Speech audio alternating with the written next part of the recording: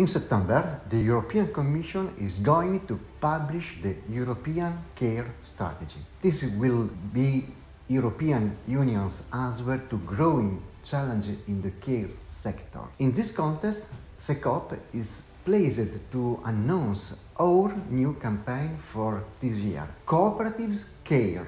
We want to bring attention to the thousands of cooperatives across Europe which provide excellent care service to millions of European citizens. Cooperatives are so successful because they care about their workers, their clients, and about their community. They are social economy enterprises which are motivated not by the profit but rather by the interest of the people they serve.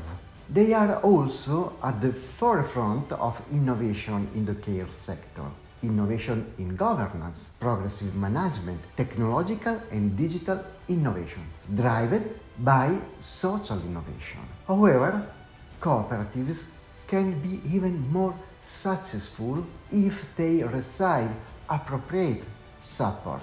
This is why we want the European care strategy to acknowledge and empower cooperatives in the care sector. I care, cooperative care.